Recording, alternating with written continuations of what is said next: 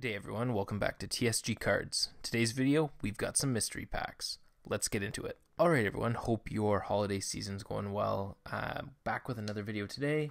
Quick little one, we ordered another mystery pack off eBay. This is the last for this little batch here.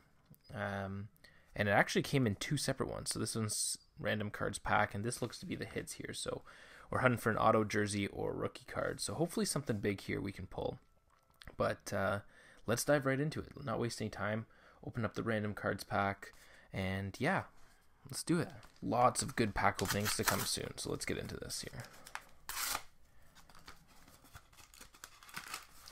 So we've got a Colin White MVP base.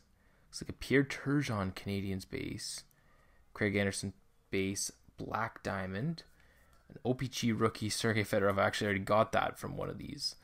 And it looks like a Hartford Whalers, Darren Turcotte die cut. And then the pack that we got is a collector's cards Upper Deck 1991-92 French edition. Interesting. Upper Deck 91-92. So, you know what? Let's open this one up.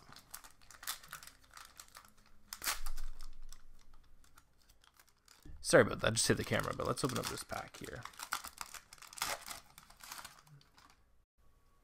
Alright, so it looks like we got an Ed Belfour, kind a rainbow reflector card. Interesting. Rob Kudelski. Ooh, these are backwards here. We've got um, Jim Waite, Uwe Krupp, Brett Hall,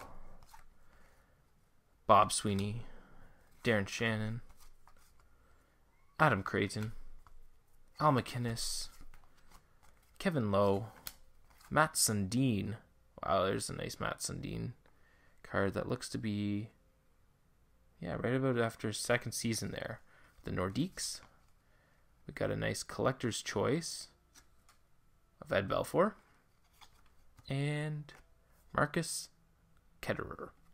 So the kind of the hit, I guess, from that this pack here would be the Ed Belfours here. It's a nice reflector. All right, so uh, an okay base, really nothing great in that. So let's get into the hits here. See what we have. All right, so we've got a Matt Calvert OPC Marquee rookie. Looks like a retro.